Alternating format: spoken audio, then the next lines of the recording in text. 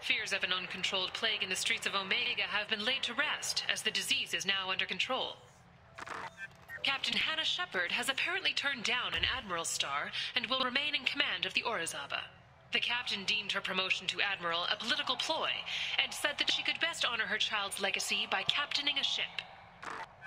An independent inquiry is investigating a group known as Cerberus in light of charges made by one Corporal Toombs and testimony by an apparent Cerberus scientist.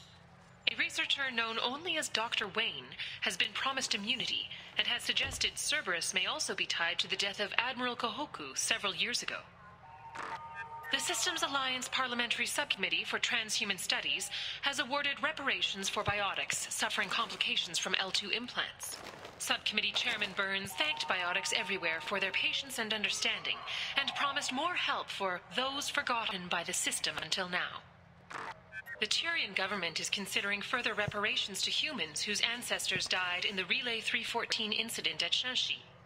The Turian government previously made reparations from what humans call the First Contact War, but refused to pay interest. The Turian hierarchy has supported improved relations with humanity since the Alliance's heroic sacrifice defending the Citadel from Saren's attack two years ago.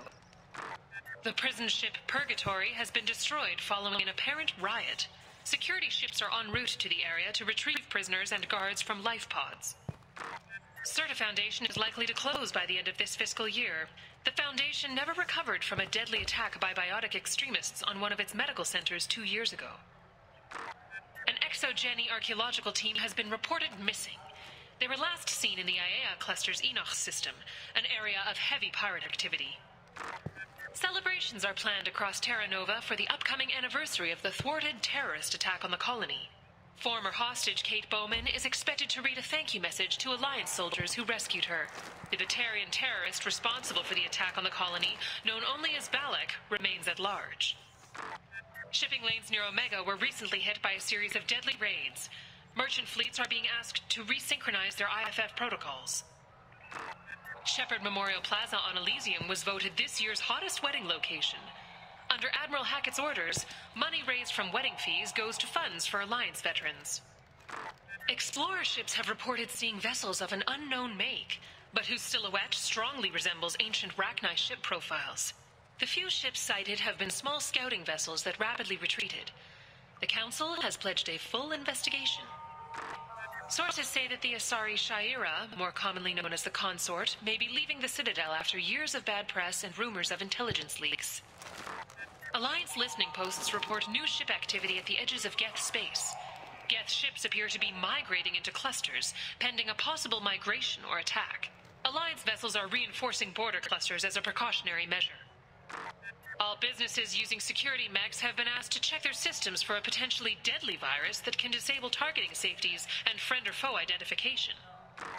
Two years after a Geth attack nearly destroyed it, the colony of Zhu's Hope has announced plans for an expansion. The recent attack on Horizon has other Council species looking to their own security.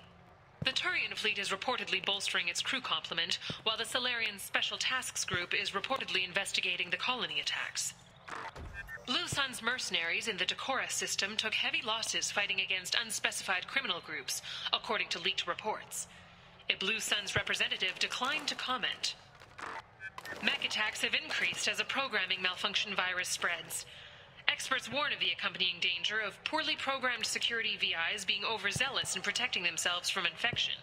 A Synthetic Insights representative stressed that this is a standard VI processing error, not an indication of an AI threat similar to the Geth.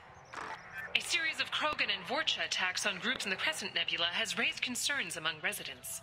A Krogan businessman on Ilium, Mr. Thax, suggested the attacks were tied to deadly Bloodpack mercenaries. The Kaidan Alenko Memorial Scholarship has begun sending gifted human biotics to the Ascension Project for care and training. Alenko, a graduate of the controversial Biotic Acclimation and Temperance Training Project, sacrificed his life to help stop Saren on Virmire. The virus affecting mechs galaxy wide was evidently born in a Hahne-Kedar mechanics facility, the result of the misuse of faulty and recalled processors in experimental mech designs. Hahne-Kedar representatives declined to comment. The Council is preparing an investigation with possible criminal charges to follow. According to sources, Whatever former Commander Shepard is doing, it involves surrounding himself with criminals, killers, mercenaries, and other dangerous elements. We at Galactic News hope that Commander Shepard consents to give us an interview and explain where he's been and what he's doing.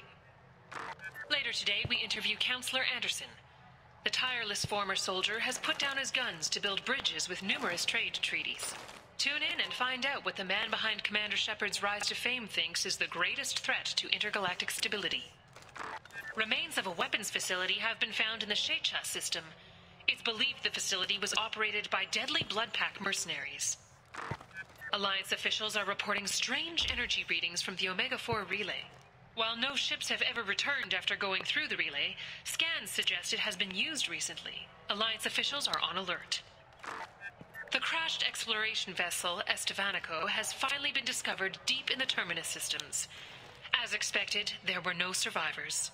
Crews have been dispatched to salvage relics from the crash site for exhibition in the Alliance Museum of Galactic Exploration on Earth. The Destiny Ascension has completed its 20 colony victory cruise. Council members aboard thanked Human Alliance soldiers for their efforts in repelling Saren's invasion two years ago. The attack on the human colony of Freedom's Progress has generated a swift but confused response. Aid vessels have been sent, but it is not clear whether there are survivors. The Council offered its sympathy, but regretted that it could not become involved in a purely human matter.